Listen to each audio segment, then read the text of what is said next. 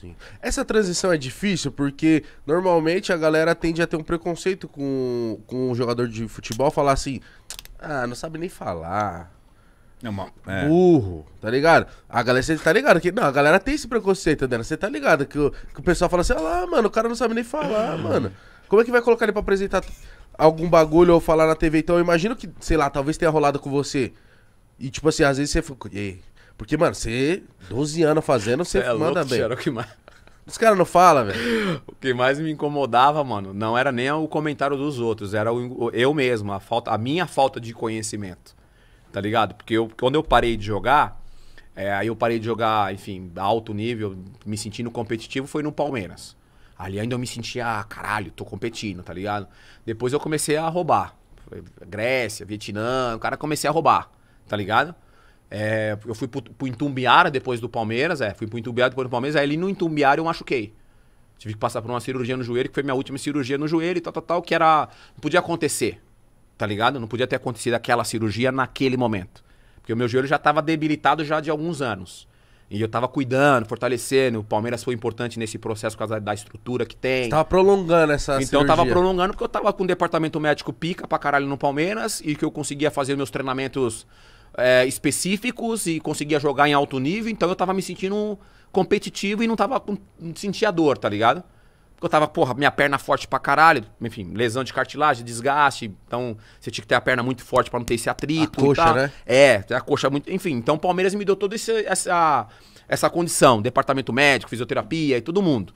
Então eu joguei o ano todo com o Palmeiras, tranquilo, pisava na fisioterapia só pra fazer o, o reforço, chegava antes, enfim.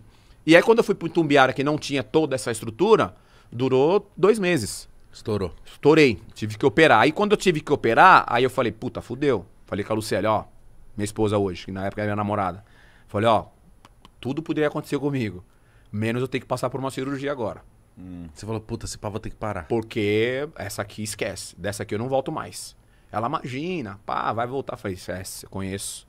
Dessa aqui eu não volto mais. E foi o que aconteceu. Você tava com quantos anos? Eu tava com 30 pra 31, 31, Nossa, 30. Eu tava- tava novão. Tava novo. Aí eu falei, pô, dessa aqui é a última, não dá mais. Certeza que não dá mais, eu sabia. Tentei me recuperar, o caralho. Aí foi quando eu comecei, fui pra Grécia, aí Vietnã, comecei a dar uma... Mas já vi que já tava mal. E aí, quando... aí eu fui pra televisão. Terminei.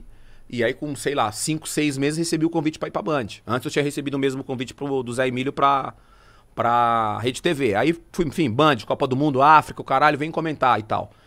E eu sempre fui um cara que falava, falava muito na gíria, sorridente sempre, graças a Deus. Mas eu falava muito na gíria, Era o caralho, o malandrão mano. e papapá, não sei o quê. Tanto é que eu nunca tive problema com os jornalistas quando eu jogava.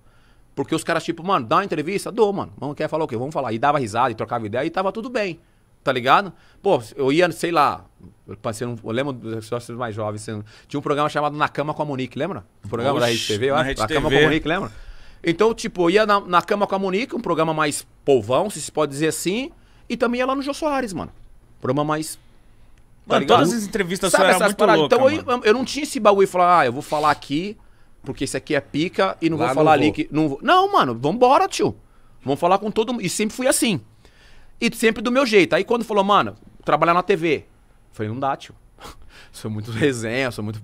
Falo muito na gíria, cara. Não dá. Os caras não vão gostar. Não vai curtir. Dá. O cara fala, o Zé Emílio Ambrosio falou, dá. Falei, não dá, dá, dá, dá. Beleza, vamos fazer a Copa do Mundo. Fiz a Copa do Mundo, Band de Mania, com a pá do caralho, com o meu jeito de ser, que Tava foi com medo, não?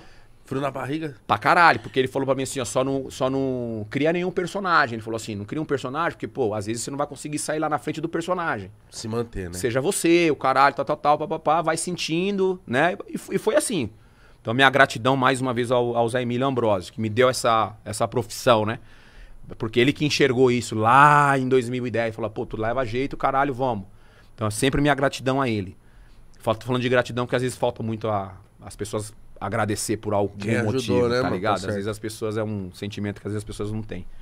Então, minha gratidão ao Zé Emílio Ambrosio, como pro Nivaldo Prieto, própria Renata Fã. Putz, os caras me ajudaram demais nessa minha, nesse meu processo. Mano, conversar com a Renata ia ser foda, velho. É, não, é, ela é muito do caralho. Então, tipo, eu sou muito grato a essas pessoas que nessa minha trajetória de, de, de comunicador me ajudaram, tá ligado?